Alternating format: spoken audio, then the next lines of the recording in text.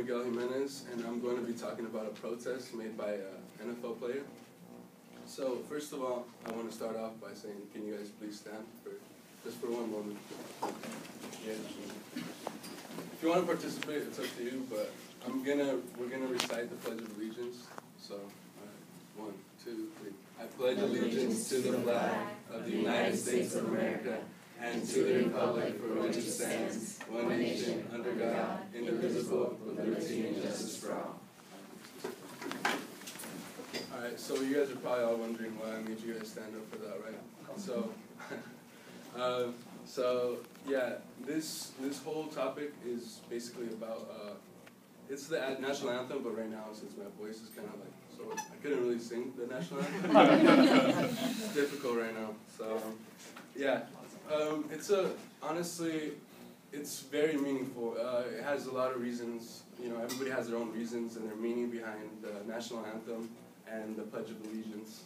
Um, and and Cap had his own views about that. Uh, Colin Kaepernick from the 49ers, uh, San Francisco 49ers. Um, so he decided to sit down for the national anthem because he felt that um, African African Americans and people of color uh, were being uh, um, were being oppressed, and there was there's really much like a lot of police brutality going on. So he had his views about that. Um, first of all, um, he he decided to sit down on August 28, I believe, and um, first he went unnoticed and and for two games he he um he sat down and nobody sat or said anything or even took notice of his sit down. But um, uh, he was trying to protest for the oppression and people of um, of police brutality. Um, also, uh, once once people started noticing that he was protesting for this cause, um, um, he got negative backlash, and it turned into like a turmoil in its in its own. So first, I'm gonna be talking about people who are for him, who are basically supporting his cause, and this is one world uh, one World War veteran who spoke about his um, protest, and he quoted this: "It's better than reverting to violence." I always stand and uncover my head or place my hand over my heart when I hear the national anthem. I also have said facetiously that the last line of the anthem is play ball.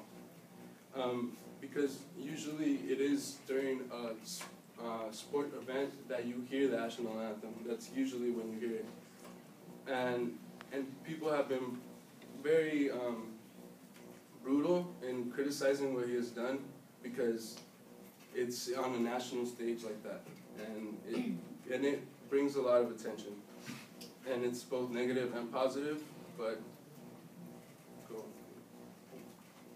So sell, sales skyrocketed from his jerseys after the come down of his negative reviews, and and that was both bad and good for the team because first they started basically um, burning his shirts at first, and then they started selling again, and that was the positive.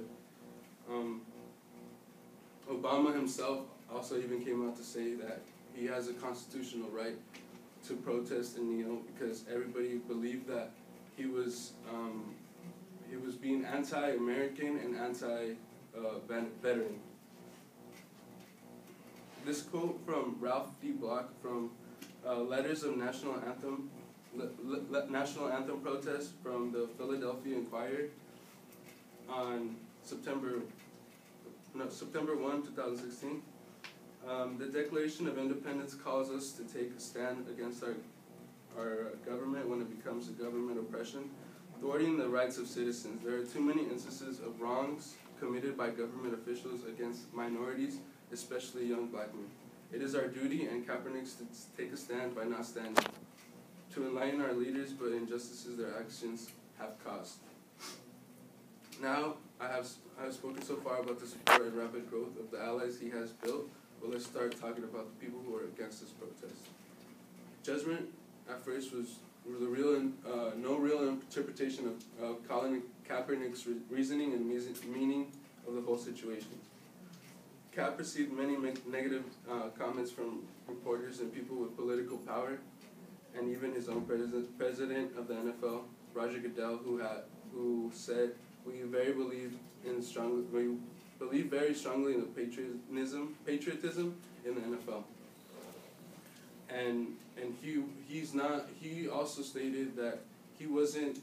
Um, he's a, he's a, not a, exactly against his protest, but um, because he's um, acting unpatriotic, he isn't against that. In conclusion, one simple act caused great turmoil over what seems to be a piece of history that might have great effect on our future, or it might have not have not any effect at all.